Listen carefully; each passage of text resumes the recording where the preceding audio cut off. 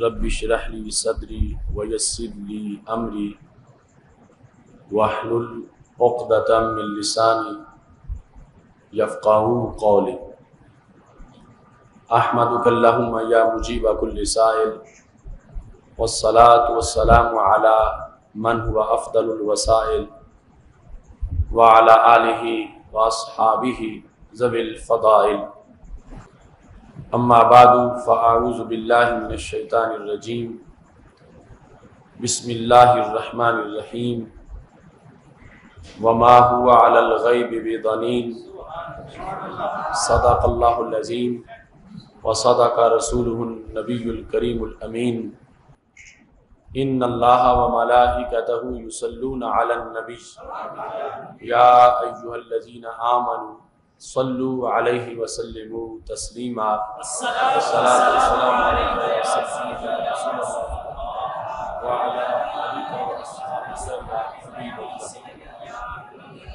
مولا صلی وسلم دائما نبدا على حبیبک خیر الخلق کلہم۔ منزہ عن شریک فی محاسنہ۔ فجوہر الحسن فیہ غیر منقاسم محمد تاج رسل اللہ قاطبتا محمد صادق الاقوال والکلم محمد ذکرہ روح لانفسنا محمد شکرہ فرد علی الامم رب صلی وسلم دائما نبدا علی حبیبک خیر الخلق کلہم۔ اللہ تبارک و تعالی جل جلالہ و عم نوالہ و تم برہانہ و عظم شانہ و جل ذکرہ و عز اسمہ کی حمد و ثناء۔ اور حضور سرور کائنات مفخر موجودات، زینت بزم کائنات، دستگیر جہاں غم گسار زماں، سید سروراں حامی بے قسم، قائد المرسلین، خاتم النبیین، احمد مجتبہ جناب محمد مصطفیٰ صلی اللہ علیہ وآلہ واصحابہ وبارک وسلم کے دربار گہر بار میں ہدیہ، درود السلام عرض کرنے کے بعد نہایت ہی معزز و محتشم حضرات و خواتین، رب ذوالجلال کے فضل اور توفیق سے ماہ رمضان المبارک میں آج ہمارے خطبہ جمعۃ المبارک کا موضوع ہے مسئلہ علم غیب، قسط نمبر چالیس۔ میری دعا ہے خالق کائنات جل جلالہ، ہم سب کو قرآن و سنت کا فہم عطا فرمائے اور قرآن و سنت کے ابلاغ و تبلیغ اور اس پر عمل کرنے کی توفیق عطا فرمائے۔ انتالیس اقساط میں آپ حضرات کو یہ سعادت میسر آئی کہ سید عالم نور مجسم شفیع معظم صلی اللہ علیہ وسلم کو رب ذوالجلال نے جو علوم غیبیہ عطا فرمائے ہیں، قرآن و سنت سے ان کا بیان کیا گیا اور انشاءاللہ یہ سلسلہ ابھی مزید بڑھتا چلا جائے گا۔ یہ آج چالیسویں قسط ہے جس میں اسی مضمون کو دلال کی روشنی میں بیان کیا جائے گا کہ رب ذوالجلال نے ہمارے آقا صلی اللہ علیہ وسلم کے حواس میں، عام انسانوں کے حواس کے مقابلہ میں اس قدر فوقیت رکھی ہے کہ جس طرح آج تم نے فامدین کورس میں حضرت واہ بن منبع کا قول سنا کہ اگر ساری کائنات کی عقلیں اکٹھی کر لی جائیں تو رسول اللہ صلی اللہ علیہ وسلم کی عقل کے سامنے ان کی وہی حیثیت ہے جو ساری کائنات کی ریت کے صحراؤں کے مقابلے میں ایک ذرہ ریت کی حیثیت ہے۔ ایسے ہی عقل کے تابع جتنی قوتیں ہیں، ان قوتوں میں بھی رسول اللہ صلی اللہ علیہ وسلم کو رب ذوالجلال نے عام لوگوں کے حواس کے مقابلے میں عظمتیں عطا فرمائی۔ اس بنیاد پر تھوڑی سی بھی جو عقل عقل سلیم ہے، اسے یہ بات ماننے میں کسی طرح کی کوئی جھجک نہیں کہ ہماری آنکھ کا دیکھنا اور رسول اللہ صلی اللہ علیہ وسلم کی آنکھ کا دیکھنا اس میں زمین و آسمان کا فرق اور اگر یہ کہا جائے کہ جیسے ہمیں دیوار کے پیچھے کچھ نہیں نظر آتا اور ایسے ہی رسول اللہ صلی اللہ علیہ وسلم کا بھی معاملہ ہے، تو پھر نبی اکرم صلی اللہ علیہ وسلم کو رب ذوالجلال نے جو جسمانی قوتوں میں عام لوگوں پر کروڑوں درجہ فوقیت عطا فرمائی ہے، اس کا مطلب ختم ہو جاتا۔ اور پھر جسمانی قوتوں کے ہمراہ جو رب ذوالجلال نے نبوت کی روشنی عطا کی ہے اور رسالت کا نور عطا فرمایا ہے، اس سے بھی یہ پتہ چلتا ہے کہ سید عالم نور مجسم شفیع معظم صلی اللہ علیہ وسلم کے علوم اور آپ کے ادراک کا انداز یقیناً باقی لوگوں کی قوتوں سے کہیں زیادہ ہے۔ اس سلسلہ میں حضرت سیدنا ابو دردہ رضی اللہ تعالی عنہ کے ایمان لانے کا وہ موقع، جس کو امام بہکی نے دلائل نبوت کے اندر بیان کیا ہے۔ اور ایسے امور کو ابن کثیر نے اپنی دلائل نبوت میں، بہکی نے اپنی دلائل نبوت میں، ابو نعیم نے اپنی دلائل نبوت میں یعنی یہ کتابوں کے نام ہیں دلائل نبوت، جس میں انہوں نے جہاں جہاں رسول اللہ صلی اللہ علیہ وسلم غیب کی خبریں دیتے رہے، ان کو اکٹھا کیا اور اس میں یہ واضح کیا کہ یہ وہ امور ہیں جو دلالت کرتے ہیں کہ رب ذوالجلال نے ہمارے محبوب علیہ السلام کو نبوت کی کتنی اونچی شان عطا فرمائی ہے۔ حضرت ابو دردہ رضی اللہ تعالیٰ عنہ حالت کفر میں تھے اور بت پرست آپ کے ساتھ حضرت عبداللہ بن رواحہ اور محمد بن مسلمہ کی دوستی تھی۔ حضرت عبداللہ بن رواحہ رضی اللہ تعالیٰ عنہ، جو قادر الکلام شاعر بھی تھے، جرنیل صحابی بھی تھے، اور آٹھ ہجری میں پھر وہ موتا کے میدان میں، اردن کے علاقہ میں شہید ہو گئے۔ یہ ابو دردہ رضی اللہ تعالیٰ عنہ کے گھر میں گئے۔ اور ان دونوں نے پلاننگ سے حضرت ابو دردہ کا وہ بت، جس کی وہ پوجا کرتے تھے، وہ چوری کر لی۔ جس وقت حضرت ابو دردہ رضی اللہ تعالیٰ عنہ اپنے گھر میں آئے اور اپنے بت کو ڈھونڈنے لگے، تو ڈھونڈ ڈھونڈ کے تھک گئے، تو زبان سے سچی بات نکل گئی۔ کہنے لگے وہی حقا حل امتناتا، تو تباہ ہو جائے۔ تو نے خود ہی اپنا کچھ دھیان کر لینا تھا کہ جب تجھے کوئی ہاتھ لگا رہا تھا تو تو اسے روکتا یا مجھے آواز دیتا، میں تیری پوجا کرتا ہوں، پرستش کرتا ہوں۔ ہل ردتا ان نفس کا تو نے اپنا دفاع کیوں نہیں کیا؟ اور اب میں تیرا پجاری تجھے تلاش کر کر کے تھک گیا ہوں۔ یہ لفظ جس وقت انہوں نے تھکاوٹ کی وجہ سے بولے، تو حضرت ابو دردہ رضی اللہ تعالی عنہ کی والدہ یہ سن رہی تھی۔ فقالت ام دردہ تو والدہ نے لوہا گرم تھا تو فوراً چوٹ لگائی۔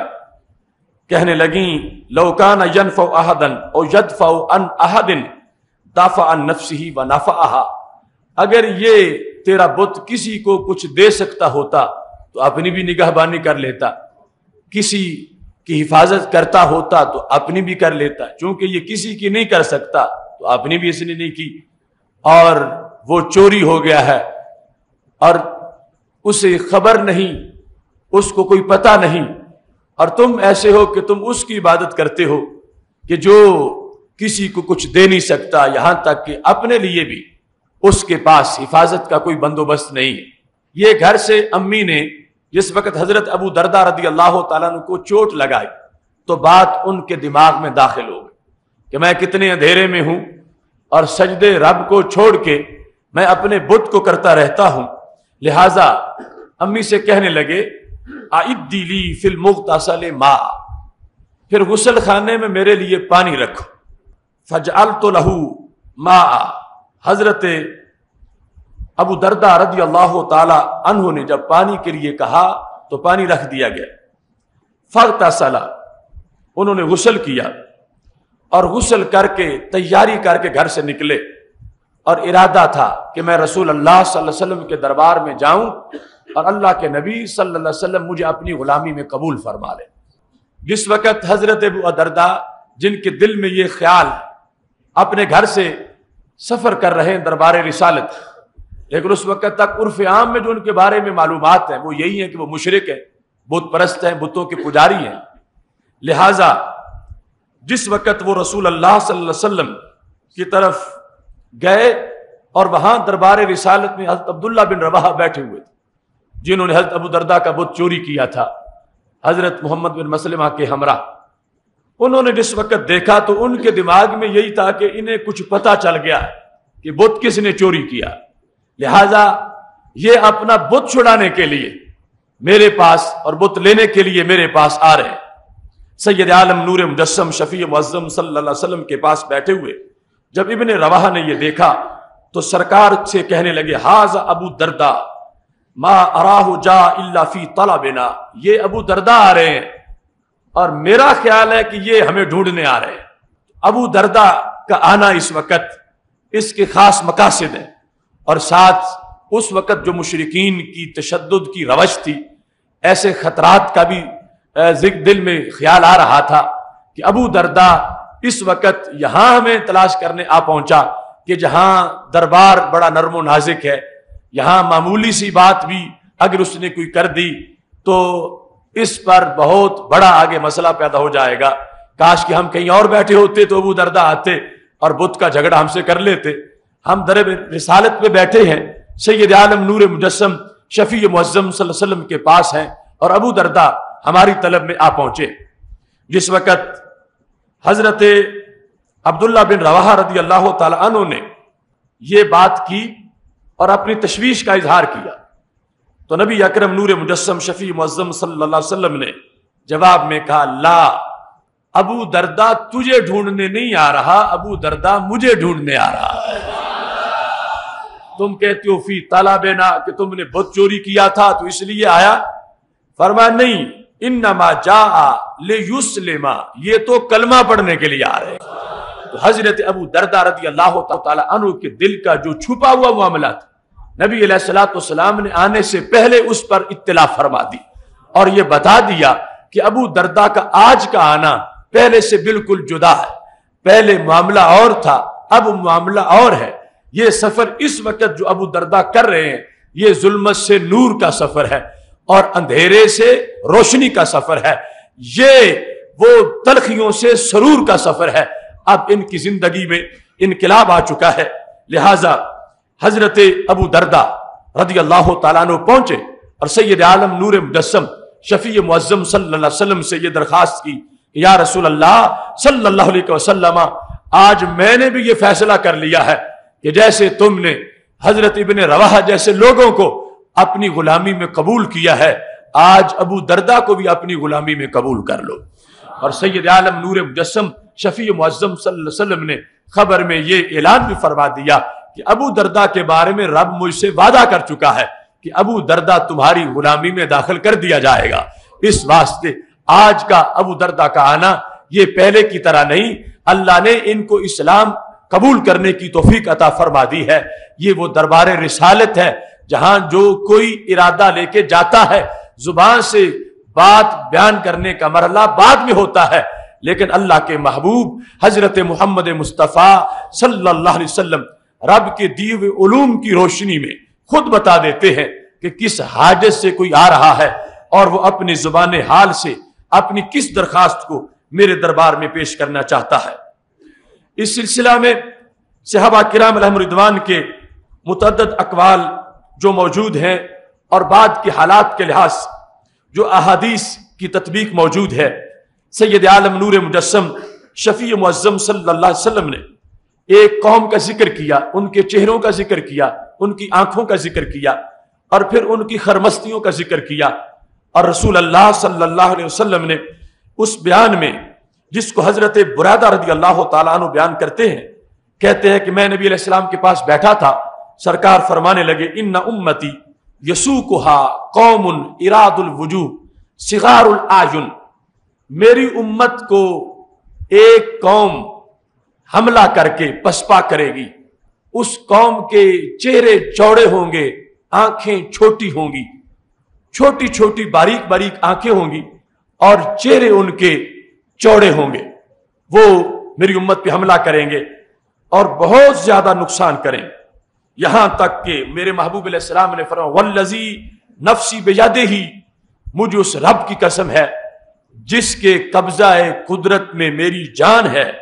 وہ جس وقت حملہ کریں گے، تو اپنے گھوڑے وہ میری امت کی مسجدوں میں باندھ دیں خیول کا ذکر کیا۔ الا سواری مساجد المسلمین، مسلمانوں کی مسجدوں کے ستونوں کے ساتھ ان لوگوں کے گھوڑے باندھے جائیں۔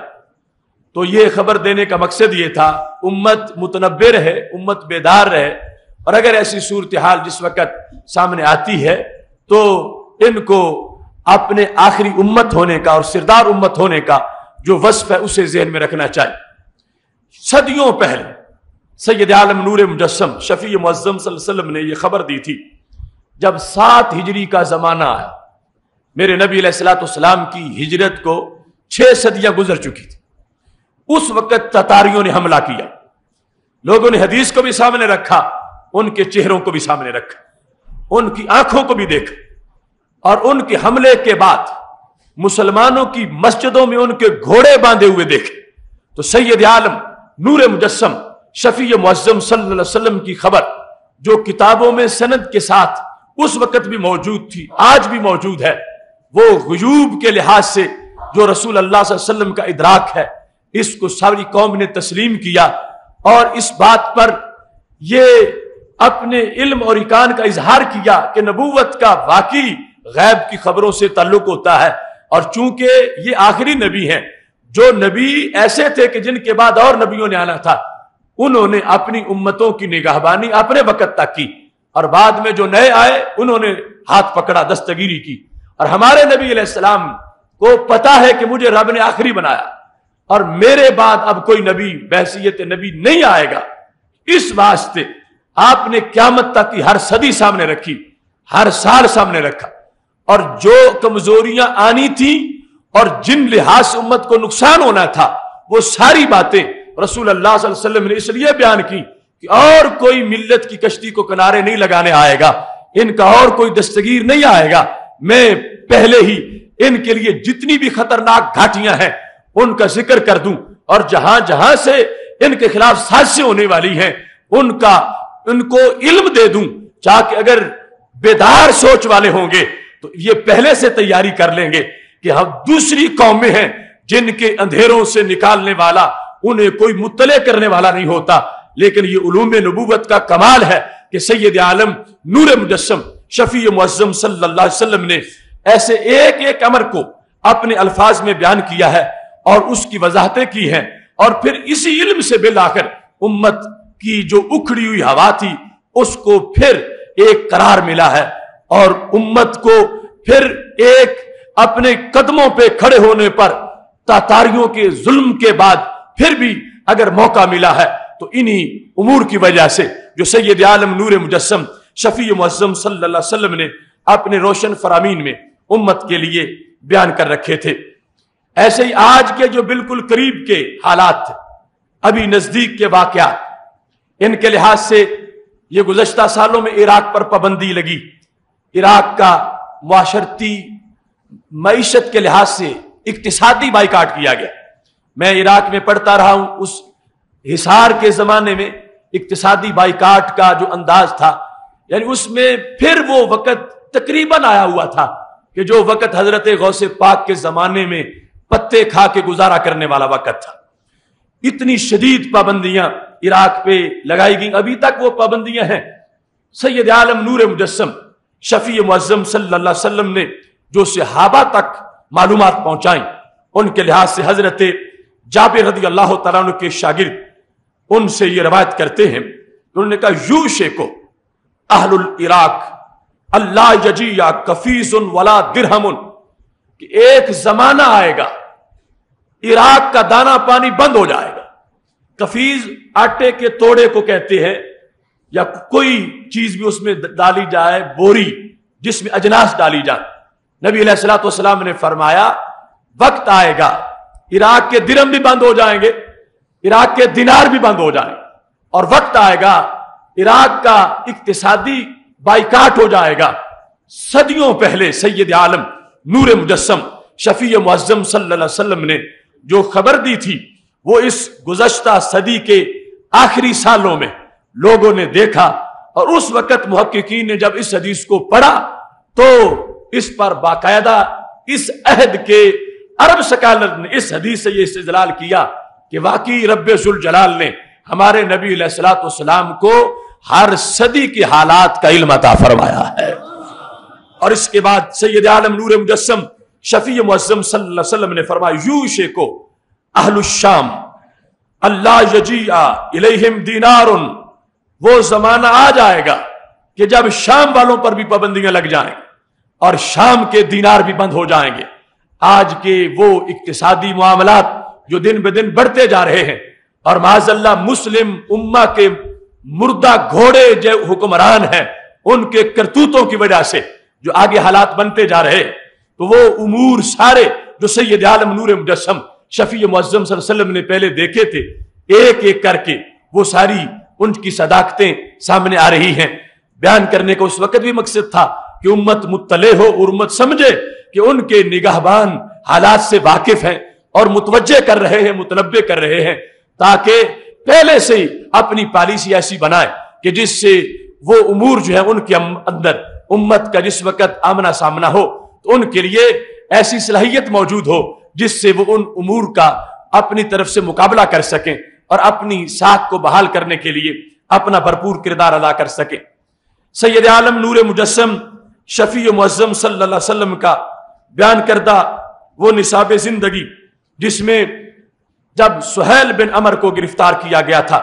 صحابہ کرام علیہ ردوان کے سامنے جب سہیل بن امر کو پیش کیا گیا اور نبی علیہ السلاۃ والسلام کے دربار میں اس کو لایا گیا، تو پاک محبوب علیہ السلاۃ والسلام نے سہیل بن امر کو عام معافی دے دی۔ حالانکہ پرلے درجے کا گستاخ تھا، شاعر تھا، خطیب تھا، بڑے بڑے شیر گستاخانہ لکھے ہوئے تھے اور سرکار کی گستاخیاں کی ہوئی تھیں۔ حضرت عمر رضی اللہ تعالیٰ نے چپ نہ رہ سکے۔ کہنے لگے، یا رسول اللہ، صلی اللہ علیہ وسلم، اگر اجازت دو، میں اس کے کم از کم دانت تو نکال دوں۔ چلو، مارنا نہیں تو دانت تو نکالوں، اس نے بکواس بڑے کیے ہوئے ہیں۔ جس وقت حضرت عمر نے پوچھا، اب نگاہ نبوت نے جواب دیا عمر، اسے کچھ نہ کہو۔ تم اس کی باتوں پر ناراض بڑے ہو اور تمہیں دکھ بڑا ہے۔ لیکن یاد رکھنا یہی سہیل بن امر ایک دن تقریر کر رہا ہوگا، تم اس کے صدقے جا رہے ہوگے۔ یہ سہیل بن امر جس کے ماضی کو دیکھ کر تم یہ چاہتے ہو کہ اس کے دانت نکالو۔ نہیں، ہم اس کے دانت نہیں نکالیں گے۔ اب باری ہماری تعریف کی آ گئی ہے۔ اب دانت نکال دے، اس کے یہ صحیح بول ہی نہ سکے۔ یہ عرب کا خطیب، جو اس نے کرنا تھا وہ کر لیا۔ اب اس کے لیے جو میں دیکھ رہا ہوں، آج اگرچہ بحثیت مجرم میرے دربار میں کھڑا ہے، لیکن یاد رکھنا، اسی سہیل بن امر کے جو خطبے ہیں، ان سے پھر ایک دن اسلام کو طاقت ملے گی۔ ایک دن شان رسالت بیان ہوگی۔ یہ خبر میرے نبی علیہ السلاۃ والسلام نے دے دی۔ سال گزرتے گئے، زمانہ گزرتا گیا۔ بالآخر وہ وقت آیا کہ جس وقت سید عالم نور مجسم، شفیع معظم صلی اللہ علیہ وسلم کا وصال ہو گیا۔ اور ایسے حالات تھے کہ امت بہت ہی گھبراہٹ کا شکار تھی۔ اس موقع پر سہارا دیتے ہوئے حضرت صدیق اکبر رضی اللہ تعالیٰ نے جو تاریخ خطبہ دیا، اس سے امت کے قدم لگے اور پھر آگے دن بدن امت کے احوال میں وہ کہ اپنے قدموں پہ کھڑے ہو کر کے ہم نے بعد میں بھی نظام چلانا بہتری آنا شروع ہو گئی۔ جو خطبہ مدینہ شریف میں حضرت صدیق اکبر رضی اللہ تعالیٰ کی زبان پر تھا وہی خطبہ مکہ شریف میں سہیل بن امر کی زبان پر تھا۔ یعنی اتنی سوچ ایڈوانس ہو چکی تھی، اتنا ان کا اندر روشن ہو چکا تھا۔ اور اگرچہ لیٹ آئے تھے اسلام میں، مگر ان کی لیٹ نکل چکی تھی۔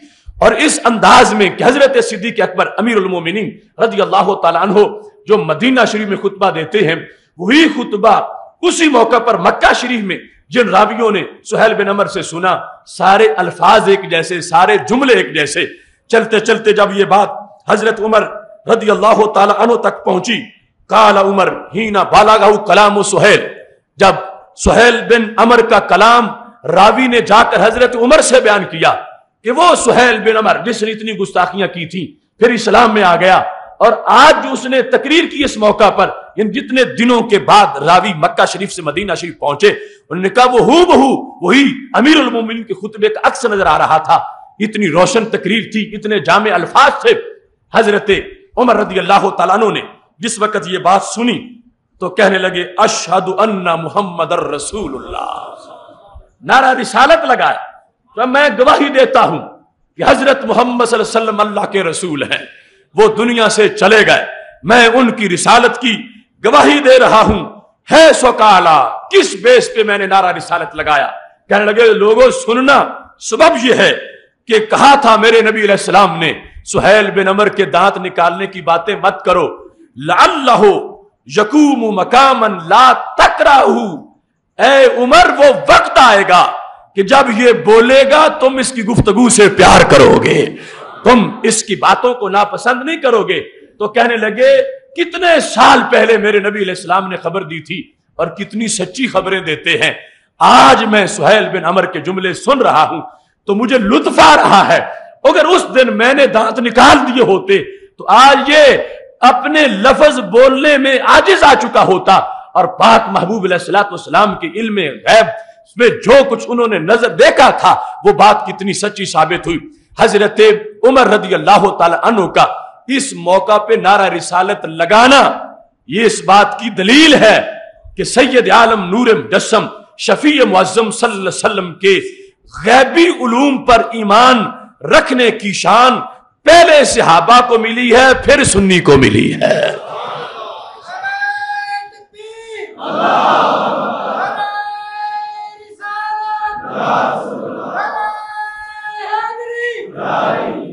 اب دیکھا لال یقوم مکامن لا تکراؤ ایک دن آئے گا، یہی کھڑا ہو کے تقریر کرے گا، تو تمہیں اس کی تقریر ناپسند نہیں لگے گی، پسند آئے گی۔ حضرت عمر رضی اللہ تعالیٰ نے کہنے لگے، اشہد ان محمد الرسول اللہ میں یہ گواہی دیتا ہوں کہ حضرت محمد صلی اللہ علیہ وسلم اللہ کے رسول صلی اللہ علیہ وسلم ہیں۔ اس مضمون کی پہلے کئی حدیثیں ہم مختلف موضوعات میں بیان کر چکے ہیں۔ یہ آج کے مضمون میں پہلی مرتبہ یہ حضرت عمر رضی اللہ تعالیٰ عنہ کے لحاظ سے یہ حدیث بیان ہو رہی ہے۔ اس مضمون کی آگے متعدد بیان ہوئی اور میں نے اس پر دلیل دنیا کے چوک میں کھڑے ہو کر پیش کی کہ ہماری مٹی پنجاب کی ہے مگر نور سینوں میں مدینہ شریف والا ہے۔ کون ہے جو اس کو سن کے نعرہ لگائے گا دوسرے مجمع میں؟ کون ہے جو اس حدیث کو سن کے دوسرے مجمع میں سبحان اللہ کہے گا؟ کون ہے جس کو توفیق ہوگی کہ یہ مجمع کو سنائے کہ سرکار نے خبر دی تھی اور وہ خبر سچی ثابت ہوئی اور سچی ثابت ہونے پر حضرت عمر کا انداز کیا تھا؟ حضرت سیدنا عمر رضی اللہ تعالیٰ عنہ نے جب یہ دیکھا کہ خبر دی تھی نبی نبی علیہ السلام والسلام نے میرے سامنے، مجھے متوجہ کر کے اور میرے سامنے صداقت ثابت ہو گئی ہے، تو انہوں نے کہا حق بنتا ہے۔ اب نعرہ رسالت ضرور لگانا چاہیے۔ اشہد ان محمد الرسول اللہ صلی اللہ علیہ وسلم کہہ کر حضرت عمر رضی اللہ تعالی عنہ نے یہ واضح کیا کہ غیبی امور کے لحاظ سے نبی علیہ السلام والسلام کے بارے میں عقیدہ رکھنا کہ آپ غیب کی خبریں بھی دیتے ہیں اور سچی دیتے ہیں۔ یہ بعد کا گھڑا ہوا عقیدہ نہیں، یہ صفا کا پڑا ہوا عقیدہ ہے۔ اس مقام پر سید عالم نور مجسم، شفیع معظم صلی اللہ علیہ وسلم کے علوم نبوت کو بیان کرنے میں جو انداز ہمیں کوتب حدیث سے میسر آیا، جس کو متعدد راویوں نے روایت کیا، بالکل خصوص مغازی جو غزوات کی کتابیں ہیں، جن میں نبی نبی علیہ السلاۃ والسلام کے غزوات کے حالات لکھے ہوئے واقدی نے اس میں یہ روایت کیا۔ اور بات ہے حضرت قباس بن اشیم کی۔ نام زین میں رکھنا، حضرت قباس بن اشیم۔ یہ وہ انسان ہے جو بدر والے دن کفار مکہ کی فوج میں شامل، مشرق تھے۔ اور اللہ اسلام مٹانے کی سوچ سے صحابہ سے لڑنے کے لیے، نبی علیہ السلاۃ والسلام کے خلاف تلواریں چلانے کے لیے کباس بن اشیم بدر پہنچے۔ کباس بن اشیم کہتے ہیں، جس وقت میں بدر پہنچا اور میں نے جائزہ لیا کہ صحابہ کی تعداد کتنی اور ہماری تعداد کتنی۔ اور میں نے دیکھا کہ ان کے پاس تلواریں کتنی، ہمارے پاس تلواریں کتنی۔ میں نے یہ سارا اندازہ لگایا کہ ان کے پاس کتنے پیادہ ہیں، کتنے سوار ہیں۔ یہ سب کچھ دیکھ کر قباس بن نشیم کہتے ہیں، میں نے کہا یہ تو چند منٹ بھی ہمارے سامنے نہیں نکالے۔ مشرقین مکہ کی فوج کا ایک سپاہی صحابہ کے انداز کو دیکھ کر کے ہیں بھی تھوڑے، اسلحہ بھی تھوڑا ہے، سواریاں بھی تھوڑی ہیں، کھانے پینے کا سامان بھی تھوڑا ہے۔ تو اپنے طور پر یہ فیصلہ کر بیٹھے کہ جنگ ہوگی، یہ تو چند منٹوں میں ہم ان کو فارغ کر دیں گے معذ اللہ۔ کہتے ہیں فلاقد رئی تو نہیں میں نے جس وقت دیکھا وہ انی لنظر الا قلت اصحاب محمد فی عینی صلی اللہ علیہ وسلم۔ میں نے کہا، یہ جنگیں تو کرتے ہیں، مگر کوئی بندے بھی لے آتے ساتھ بندے ہی کوئی نہیں، اور جنگ کرنے آ گئے۔ یہ اپنی سوچ ظاہر کر رہے الا قلت اصحاب محمد صلی اللہ علیہ وسلم۔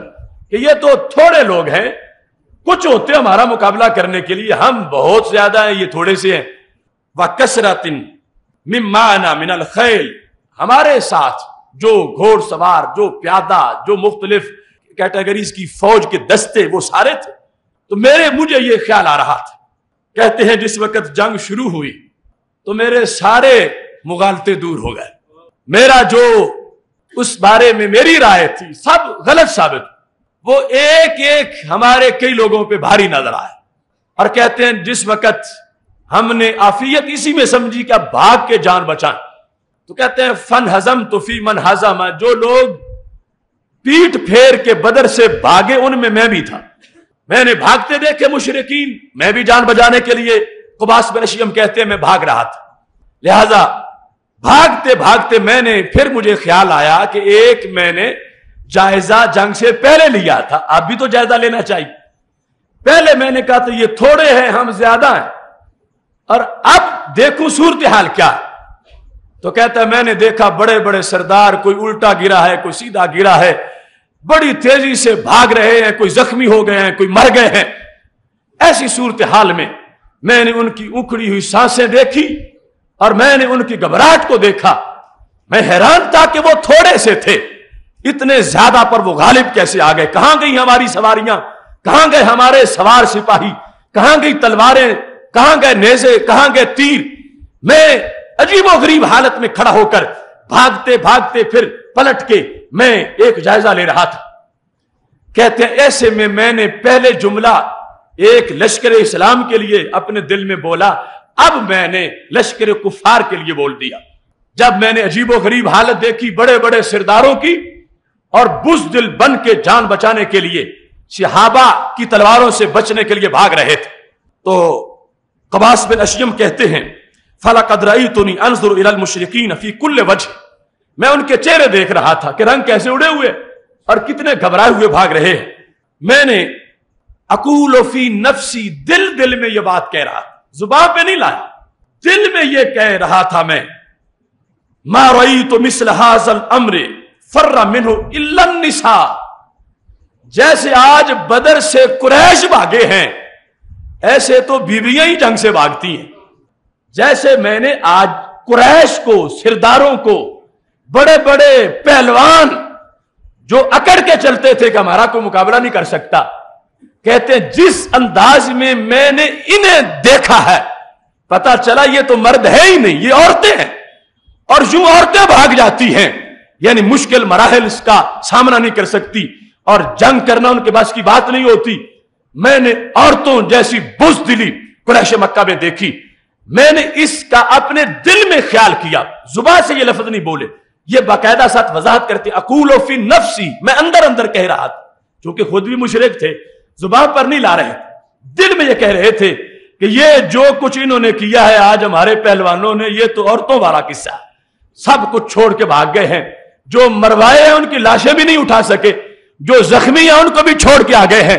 اور اس طرح گرتے، اٹھتے، بیٹھتے، بھاگتے جا رہے ہیں۔ ان کی کیا حیثیت ہے؟ یہ اپنی بہادریوں کے کسیدے پڑھواتے تھے شاعروں سے اور آج ساری بہادری گرلا ہو گئی ہے اور بھاگتے جا رہے کہتے ہیں، میں نے دل میں یہ بات کی۔ اور اس کے بعد میں بھی بھاگ کے مکہ شریف پہنچ گیا اور دوسرے بھاگنے والے بھی مکہ شریف پہنچ گئے۔ یہ بات میرے ذہن سے پھر نکل گئی۔ گھر جا کے ہم نے ایک دوسرے کو دلاسے دیے۔ کہا، یہ نہیں جو اس طرح ہو گیا تھا، کمزوری فلان جگہ سے آ گئی تھی۔ ہم اپنے دلائل گھرنے لگے۔ اور آگے مستقبل کے لیے سوچنے لگے، چلو آج مار کھا آئے ہیں، لیکن پھر جائیں گے، پھر جا کے کچھ کریں گے۔ اس طرح کی صورتحال واپس جا کر مکہ شریف میں آ گئی اور یہ بات جو میرے دل میں آئی تھی اس وقت کہ ہم تو عورتوں جیسی جنگ لڑ کے آئے ہیں، یہ بات پھر میرے دل سے نکل گئی۔ کہتے ہیں، وقت گزرا، ہم نے تیاری کی، عہد کے میدان میں ہم گئے۔ اس کے بعد وہ جنگ بھی دیکھ لی، پھر خندق کا زمانہ آ گیا۔ خندق میں میں بالکل کافر فوج کا حصہ تھا اور میں کفار کے ساتھ لڑنے کے لیے گیا۔ خندق کی جنگ سے فارغ ہونے کے بعد کباس بن اشیم رضی اللہ تعالی عنہ کے دل کی دنیا بدل گئی۔ چونکہ یہاں بھی ایک غیب کی خبر میرے نبی علیہ السلام نے دے دی تھی کہ جس وقت آل پارٹیز اتحاد عرب کا، جس کو عربی میں غزوہ حضاب سے تعبیر کیا جاتا وہی خندق بھی ہے۔ سب اکٹھے ہو کے گئے کہ اب معذلہ ان کو مٹا کے آئیں گے۔ گھر جا کے مٹانے گئے تھے۔ مگر ادھر مسجد فتح کی جگہ محبوب بیٹھے ہوئے تھے۔ پیر منگل اور بدھ کے دن دعا مانگی۔ بدھ والے دن دو نمازوں کے درمیان دعا قبول ہو گئی۔ اور پھر مشرقین مکہ کو خندق سے بھاگنا پڑا۔ خیمے الٹ گئے۔ ہنڈیاں الٹی ہو گئی پھر ان کو وہاں سے رسوا ہو کے نکلنا پڑا۔ اس موقع پر میرے نبی علیہ السلام نے فرما دیا، آج کے بعد مکہ کے مشرق لڑنے نہیں آئیں گے۔ اب ہماری باری ہے، ہم جا کے ان کی سانس بند کریں گے۔ ہم فاتحانہ مکہ میں داخل ہوں گے۔ اور تاریخ نے یہ ثابت کیا، اس کے بعد پھر لڑنے نہیں گئے۔ وہ جنہیں بڑا گمانڈ تھا، بدر میں بھی نہ نکلا، کہتے پھر لڑیں گے عہد میں بھی نہ نکلا، پھر لڑیں گے۔ خندق میں چلے گئے۔ میرے نبی علیہ السلام نے فرمایا، اب جو انہوں نے آنا تھا، آ لیا۔ اب ہم پہنچیں گے، ان کے پیچھے۔ اور وہ دن آیا جو رمضان شریف میں فتح مکہ کا دن ہے۔ اور سید عالم نور مجسم، شفیع معظم صلی اللہ علیہ وسلم نے مکہ شریف فتح کر لیا۔ اب ہوا عرب کی بدل گئی۔ وہ اکڑی ہوئی گردنیں جھک گئی۔ اور بڑے بڑے سردار انہوں نے بھی دیکھ لیا۔ اور ان کو اللہ تبارک و تعالیٰ نے اسلام کی توفیق دے دی۔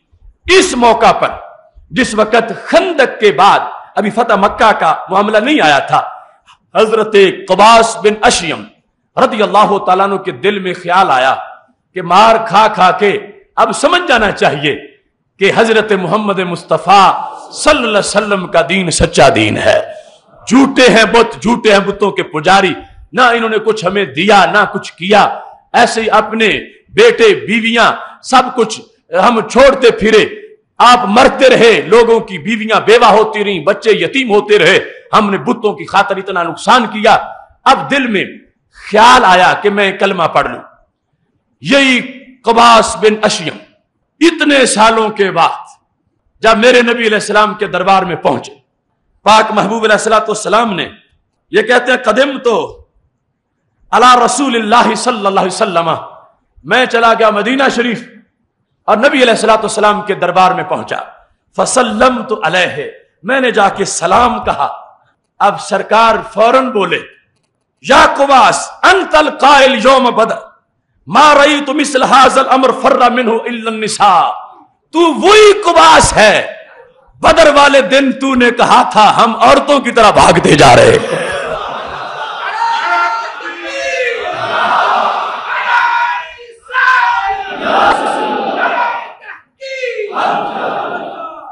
تم نے کہا تھا، تم نے بدر والے دن کہا تھا اہد خندق کے معاملے گزر گئے، لیکن سرکار کے ریکارڈ میں سب کچھ ہے۔ اور تم تھے بدر سے بھاگ کے رستے میں، تم نے بات کی تھی۔ اور تم نے کہا تھا، آج قریش مکہ مشرقین یوں بھاگے ہیں جیسے عورتیں بھاگ جاتی ہیں۔ تم نے یہ کہا تھا۔ حضرت قباس بن اشیم کہتے ہیں، میں حیران رہ گیا۔ کہ میں نے تو دل میں کہا تھا۔ میں نے تو کسی انسان کے سامنے نہیں کہا تھا۔ ہوتا ہے نا کہ قریش مکہ میں سے کسی کے سامنے کہا اور اس نے کلمہ پڑھ دیا ہو اور اس نے میری جا کے رپورٹ دے دی ہو کہ ہمارا ایک ساتھی ہے، اس کا نام قباس بن نشیم ہے۔ اور وہ یہ بات کر رہا تھا فلاں دن۔ کہتا میں نے تو مجھے پوری طرح یاد کسی انسان کے سامنے اس کا اظہار نہیں کیا۔ یہ بات میرے دل میں ہے۔ اے سچے نبی، تیری نبوت کو سلام کرتا ہوں۔ تم جو دشمنوں کے دل جانتے ہو، تو دوستوں کا دل کتنا جاننے والے ہو۔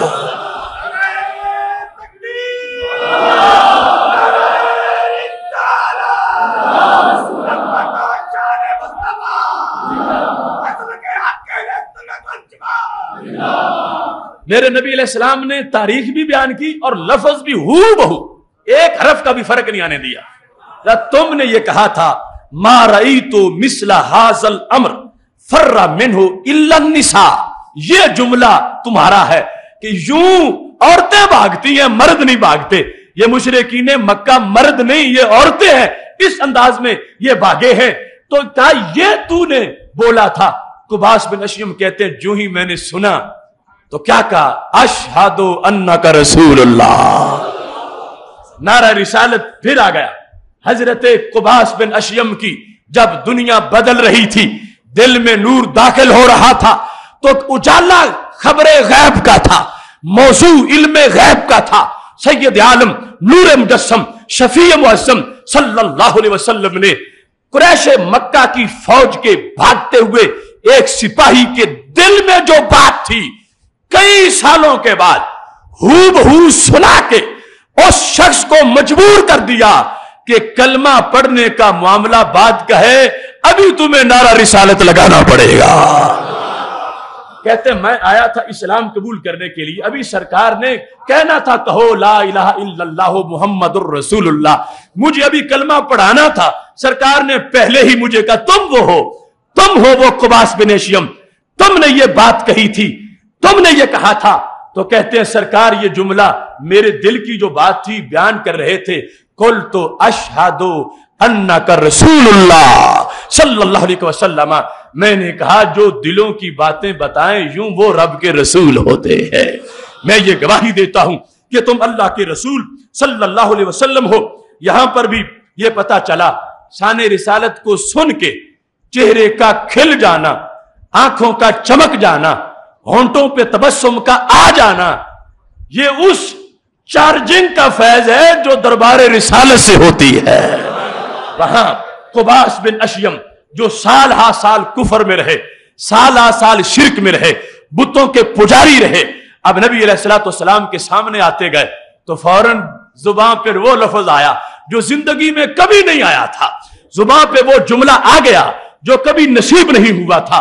پاک محبوب علیہ السلام والسلام کا چہرہ دیکھا ہے اور علم شریف کی بات سنی ہے تو فوراً کہتے اشہدو ان رسول اللہ میں یہ گواہی دیتا ہوں کہ آپ اللہ کے رسول صلی اللہ علیہ وسلم ہیں۔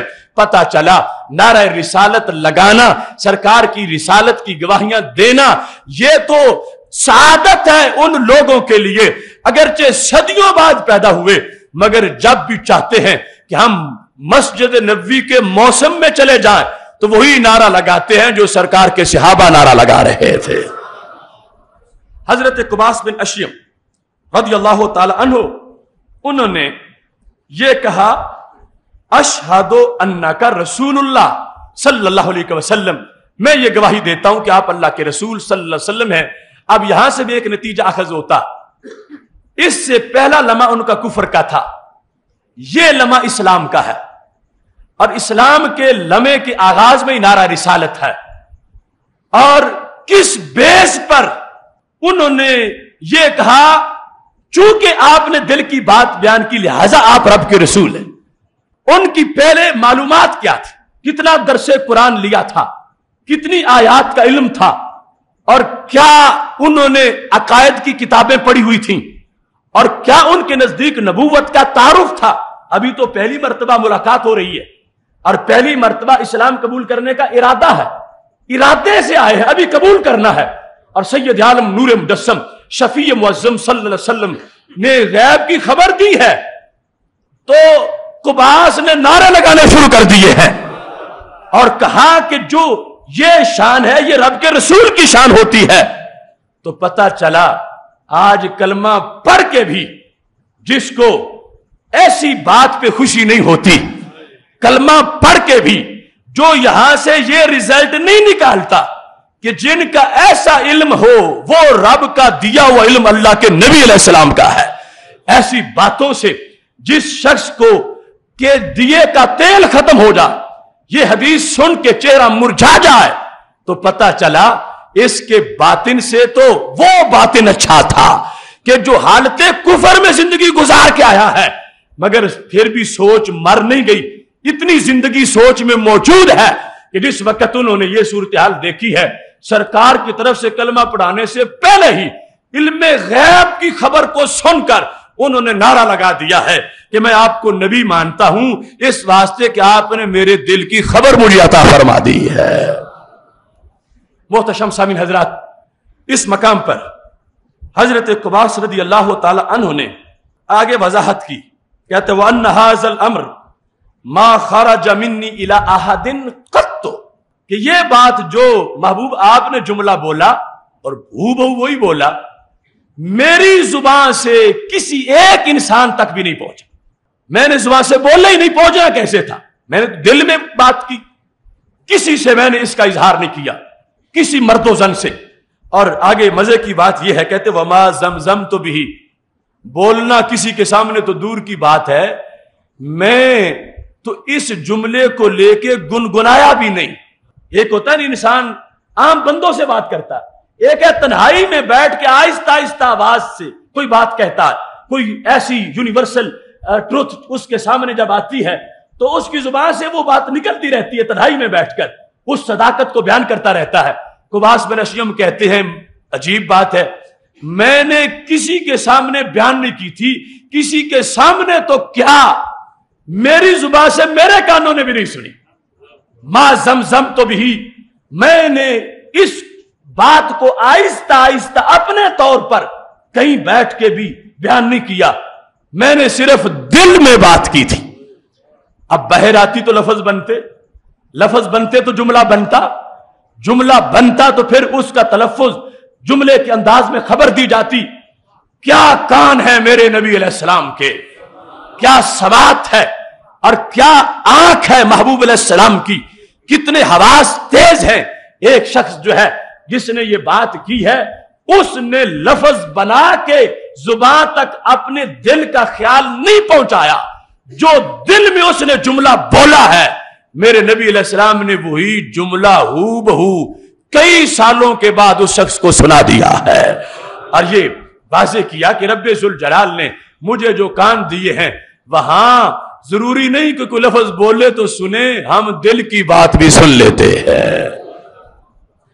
اس مقام پر خلاصہ، اب قباس سرکار سے گفتگو کر رہے ہیں نا، کتنے خوش نصیب ہیں۔ ون ٹو ون ملاقات ہو رہی ہے اور آمنے سامنے بیٹھ کے باتیں کر رہے ہیں۔ اب یہ بتاتے ہیں، میں نے نعرہ کیوں لگایا؟ کہ میں آیا تھا کلمہ پڑھنے کے لیے، ابھی آپ نے کلمہ پڑھایا نہیں، میں نے کلمہ پڑھا نہیں، میں تو ارادہ لے کے آیا۔ آگے موضوع اور شروع ہو گیا، بدر والا۔ وہ گزشتہ قصہ، وہ بات آپ نے شروع کر دی۔ اب میں نے سنا تو میں نے نعرہ لگا دیا۔ کہتے ہیں، یہ ما ہوا اللہ شعی حدثت بھی نفسی یہ بات تو میرے دل کی تھی، زبان کی بات ہی نہیں تھی۔ فلولا ان کا نبی ما اطلاع اللہ علیہ میرا دل مانتا ہے، اگر تم نبی نہ ہوتے تو اس چیز کا علم رب تمہیں نہ دیتا۔ تم نبی ہو۔ اس واسطے نہایت خفیہ معاملہ جو تھا میری زندگی کا، جو میں شیر مشرقوں سے بھی نہیں کر سکا۔ اپنے بھائیوں سے، اپنے بیٹوں سے، اپنی بیوی سے، اپنے دوستوں سے، کہ شرمندگی تھی کہ میں کس کے سامنے بولوں۔ لیکن جہاں سنائی دینا تھا، وہاں سنائی دے گیا ہے۔ آپ نے سن لیا ہے۔ میں اس واسطے گواہی دیتا ہوں کہ آپ اللہ کے نبی ہیں۔ یہ کہنے کے بعد کہنے لگے فعارد علیہ السلام سرکار نے پھر مجھ پر اسلام پیش کیا فاسلم تو میں نے اسلام قبول کر لیا۔ اتنا ایڈوانس دماغ ہے عاشق کا۔ اگر دماغ سترا ہے، تو پھر اتنا جلد اس تک حق پہنچتا ہے۔ ابھی نبی علیہ السلاۃ والسلام نے بتانا تھا کہ یہ توحید ہوتی ہے، یہ رسالت ہوتی ہے۔ میں اللہ کا رسول صلی اللہ علیہ وسلم ہوں، لیکن سرکار کے علم نے کتنے پردے ہٹا دیے۔ حضرت قباس کی آنکھوں سے۔ جو سرکار نے بتانا تھا انہیں دیکھ کے سمجھ آ گیا ہے۔ باتیں سن کے اور اس کے بعد انہوں نے خود اپنی زبان سے بیان کر دیا کہ میں نے اس لیے نعرہ رسالت لگایا ہے۔ اگرچہ میں کفر سے اب نکلنے والا ہوں، مگر پھر بھی سوچ زنگ آلود نہیں۔ اتنی روشن سوچ ہے حضرت قباش کی کہ جنہیں نعرہ رسالت تک کوئی جھجک محسوس نہیں ہوئی۔ فوراً یہ کہا اشہد اللہ کا رسول اللہ. میں یہ گواہی دیتا ہوں کہ آپ اللہ کے رسول صلی اللہ علیہ وسلم ہیں۔ اس واسطے کہ رب ذوالجلال نے یہ جو علوم دیے ہیں، جو ان کو دیکھتا ہے، یہ علم ہی مجبور کرتا ہے انسان کو کہ وہ سرکار کا کلمہ پڑھے اور جو اتنے علم والے آقا ہیں، ان کی غلامی میں اپنے آپ کو پیش کر ڈالے۔ محتشم سامن حضرات، آج علم غیب کے موضوع پر یہ جو چالیسویں قسط، اس کا ابھی اختتامی مرحلہ پیش نظر ہے۔ ابھی ہمیں چالیس جمعے ہو گئے مختلف سالوں میں یہ موضوع بیان کرتے ہوئے اور ہر جمعے میں نئے دلائل آئے اور ہر جمعے میں نئی لذت آئے اور ہر جمعے میں نیا سرور آیا اور ابھی بھی سلسلہ ختم نہیں ہوا۔ یہ سعادت ہے، اللہ نے کیا حصے میں دی ہے۔ دوسروں کو یہ تلاش ہے کہ کوئی حوالہ ملے کہ ان سے پوچھا گیا تو جواب نہ دے سکے۔ ان بدبختوں کو ڈھونڈتے ڈھونڈتے راتیں اس میں گزر جاتی ہیں۔ اور ہماری راتیں محبت کے پھول چننے میں گزر جاتی ہے کہ سید عالم نور مجسم، شفیع معظم صلی اللہ علیہ وسلم کو رب ذوالجلال نے کیا کیا عطائیں دیں، کتنا اونچا مرتبہ دیا اور کتنا اونچا مقام عطا فرمایا ہے، جو ہمیشہ امت کا نصاب زندگی بھی رہا اور روح کی غذا بھی رہی ہے۔ اس واسطے آپ خوش نصیب ہیں کہ مسجد رضا مجتبہ میں جو یہ علوم اور ادراک اور تعلیمات اسلامیہ کا اظہار ہوتا جو اللہ کے فضل سے انٹرنیٹ کے ذریعے پوری دنیا تک جاتا ہے، پھر سیڈیز جاتی ہیں۔ لیکن اولین لائیو براہ راست آپ لوگ یہ سنتے ہیں۔ اس کے بعد اللہ کے فضل سے سینکڑوں خوتابہ اسی سے استفادہ کرتے ہیں اور پھر وہ اپنی جگہ جمعہ پڑھاتے ہیں، اپنی جگہ فام دین کورس کراتے ہیں۔ بڑے بڑے اساتذہ فنون کے ماہرین، انہوں نے مجھے یہ بیان کیا۔ وہ باقاعدہ ان چیزوں کو سامنے رکھ کے ان چیزوں کو آگے عوام کے لیے پہنچاتے ہیں اور اللہ کے فضل سے ایک ایسا سرکل پوری دنیا میں چل رہا ہے۔ عرب امارات میں، دوسرے ممالک میں مسجد رضا مجتبہ کے خطبات وہاں دہرائے جاتے ہیں اور وہاں لوگوں کے سامنے پھر خطیب اپنی زبانوں سے بیان کرتے ہیں۔ اس واسطے یہ ایک تاریخی مسجد ہے، عالم اسلام کی ایک انفرادی اس نوعیت کی۔ اگر آپ سوچیں تو یقیناً ہر مسجد مسجد ہے، ہر مسجد کا خطیب عظیم ہے، ہر مسجد کا خطبہ عظیم ہے۔ مگر اگر نصاب بناؤ کہ کس مسجد میں نبی علیہ السلام کے علم غیب پر چالیس جمعے پڑھائے گئے، تو ان شان والی مسجدوں میں جو سر فرست میں نام آج کے ماحول میں نظر آئے گا، وہ مسجد رضا مجتبہ کا نام ہوگا۔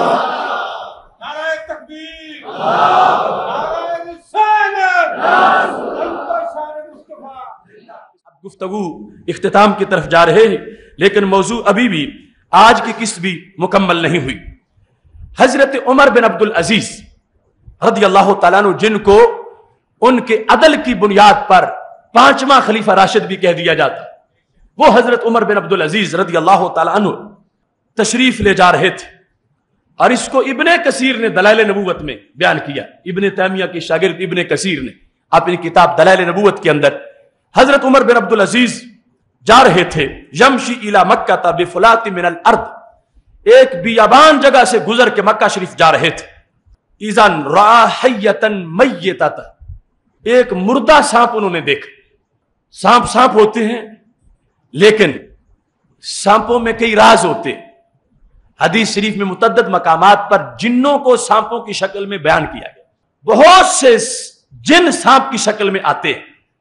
حت عمر بن عبد العزیز نے دیکھا، وہ بھی اللہ والے تھے، انہوں نے سانپ کے لیے وہاں پر توقف کیا کہ مرا پڑا ہے اور کہنے لگے، علیہ بے محفارن مجھے کوئی بیلچا دو، کسی دو، میں اس کے لیے چھوٹی سی قبر بنانا چاہتا، اس کو دفن کرنا چاہتا۔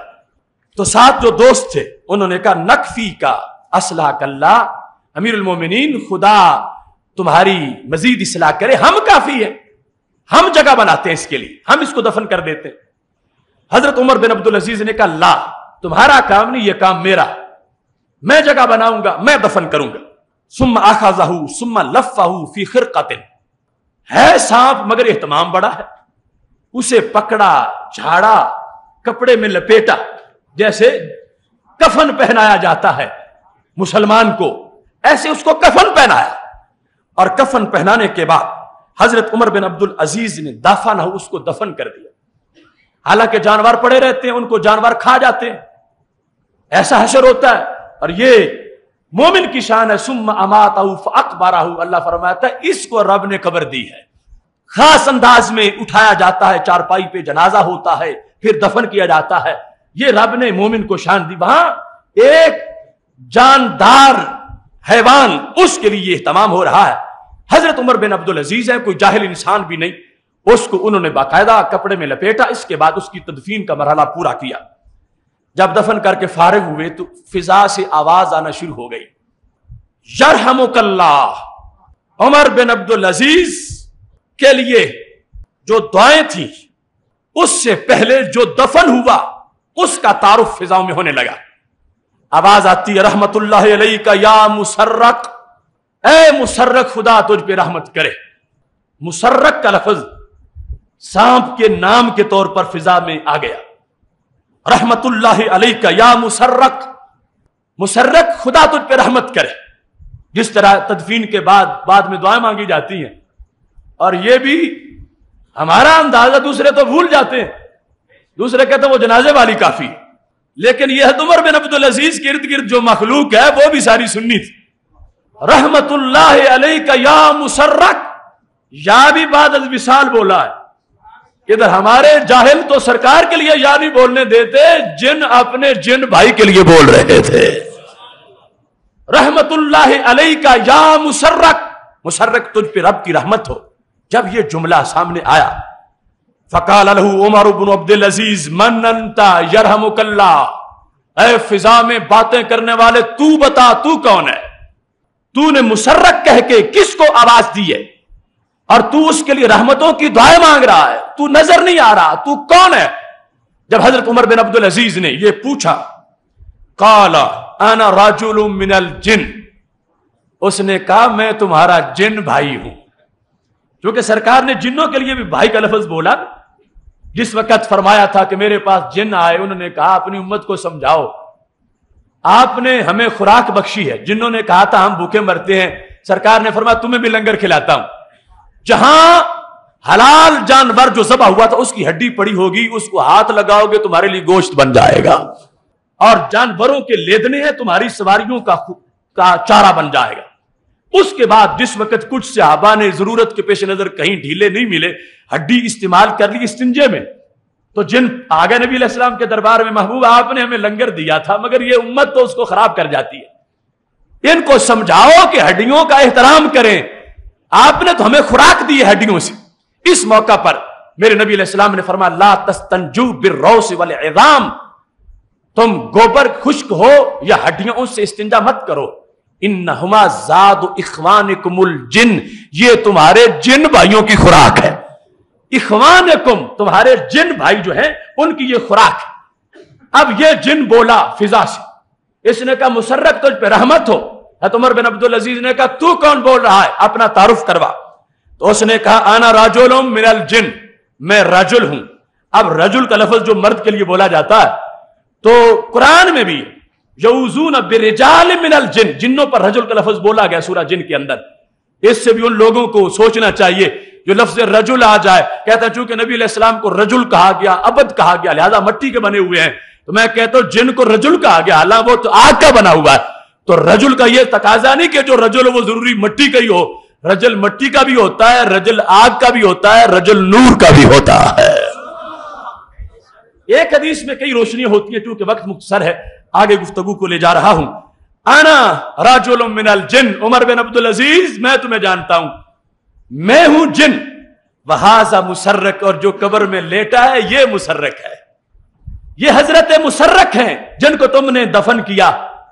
میں جن ہوں، یہ بھی جن۔ میں اپنا تعارف کرواؤں، ہم کون ہیں؟ لم یب کا مما با یا رسول اللہ صلی اللہ علیہ وسلم، غیری وغیر ہمارا ریکارڈ یہ ہے عمر بن عبد العزیز کہ جن جنوں نے نبی علیہ السلام کے ہاتھ پر بیعت کی تھی ان میں سے ہم دو ہی باقی رہ گئے تھے۔ ایک یہ مسرک جو قبر میں چلا گیا۔ اب صرف میں باقی رہ گیا۔ نبی علیہ السلام السلام کے ہاتھ پر جنہوں نے بیعت کی تھی۔ اب دیکھنا جن کے غلام اتنے نالج والے ہوں۔ وہ فضاؤں سے گفتگو کر رہے۔ حضرت عمر بن عبد العزیز کے ساتھ ہم عام نہیں، ہم بھی سیابی ہیں۔ ہم جن سیابی ہیں۔ ہم نے نبی علیہ السلاۃ والسلام کے ہاتھ پر بیعت کی تھی۔ اور جن جتنے جنوں نے کی تھی ان میں سے روبے زمین پر اب صرف دو تھے، ایک فوت ہو گیا ہے، اب پیچھے میں باقی رہ گیا ہوں۔ اور اس کے بعد وہ اشہادو جن نے بھی حدیث روایت کر دی، چونکہ سنی جن تھا۔ وہ کہتا اشہادو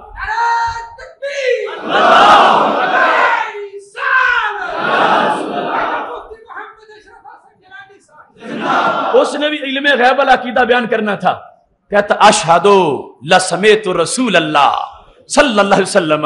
عمر بن عبدالعزیز، تیرے علم میں اضافہ ہو جائے۔ میں سے ابھی تجھے سرکار کی حدیث سناتا ہوں۔ سمے تو میں نے سنا تھا نبی علیہ السلام والسلام سے۔ اور میں گواہی دے کے اللہ کی حدیث بیان کرنے کے لیے اشہدوں کی ضرورت نہیں، صرف کہہ دو کالا رسول اللہ صلی اللہ علیہ وسلم۔ نبی علیہ السلام نے فرمایا، لیکن یہ چاہتے تھے چونکہ عجیب و غریب ماحول ہے اور جن حدیثیں ہم بیان نہیں کرتے اور میری ملاقات ہو گئی ہے امیر المومنین سے، تو کہتے ہیں اشہدو میں گواہی دیتا ہوں کہ میں نے یہ سنا ہے جو سنا رہا ہوں، میں جھوٹی روایت نہیں کر رہا۔ میں نے سنا تھا نبی علیہ السلام والسلام سے، سرکار نے فرمایا تھا، اس مسرک کو خطاب کر کے، یہ میرا جن بھائی جسے تم نے دفن کیا، آج سے کئی سال پہلے جب ہم نے بیعت کی تھی میرے نبی علیہ السلام نے فرمایا تھا، یا مسرک تمو تو بے فلات من الارض۔ تم ویرانے میں فوت ہو جاؤ گے۔ پھر ید فونوں کا خیر امتی، اس وقت روئے زمین پر جو میرا سب سے شان والا امتی ہوگا، وہ تجھے دفن کرے گا۔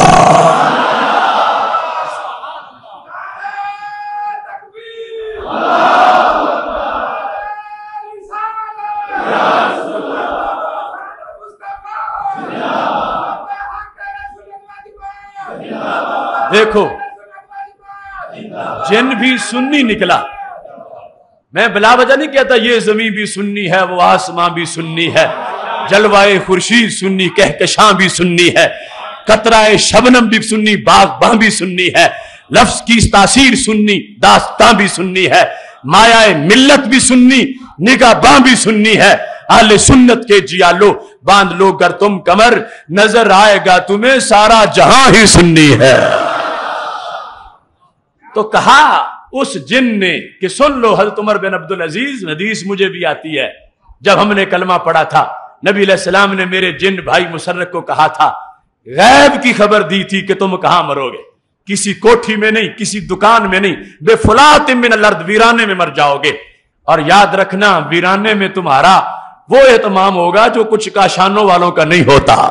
میری جو امت کا خیر انسان ہوگا اس وقت، وہ تمہیں دفن کرے گا۔ اس کے ہاتھوں سے تمہاری تدفین ہوگی۔ جن نے کہا، میں نعرے اس لیے لگا رہا ہوں، میرے نبی نے جو غیب کی خبر دی تھی، سچی ہوتی میں نے دیکھ لی ہے۔ حضرت عمر بن عبد العزیز رضی اللہ تعالی عنہ نے کہا، پہلے چلو دو تم نے کہا، وہ تو اپنی جگہ۔ اب میں تم سے حلف لینا چاہتا ہوں۔ ٹھیک ہے، تم جن ہو، تم نے بیعت کی تھی، مگر کچھ تقاضے عدالت کے بھی ہیں۔ حلف دو تم مجھے۔ کہ واقعی تم نے یہ نبی علیہ السلام سے سنا۔ تو جن نے کہا واللہ سمیت رسول اللہ صلی اللہ علیہ وسلم، خدا کی قسم ہے، میں بنا کے باتیں نہیں کر رہا، میں غیب دان نبی علیہ السلام کی بات تمہیں سنا رہا ہوں۔ فبکا عمر بن عبد العزیز حضرت عمر بن عبد العزیز کی آنکھوں میں آنسو آ گئے کہ مسرک کو تو نوازا ہی تھا، محبوب نے مجھے بھی نواز دیا ہے۔ کہ خیر امتی جو میرا ہوگا، اس زمانے کا وہ تمہیں دفن کر دے گا۔ دیکھو ایک ایک جہت میں کتنے علم موجود ہیں اور کتنی عظمتیں موجود ہیں۔ رب الجلال ہم سب کو مسئلہ کے اہل سنت و جماعت کی یہ حقائق آگے پہنچانے کی توفیق عطا فرمائے۔ واخر دعوانا الحمد للہ رب العالمین۔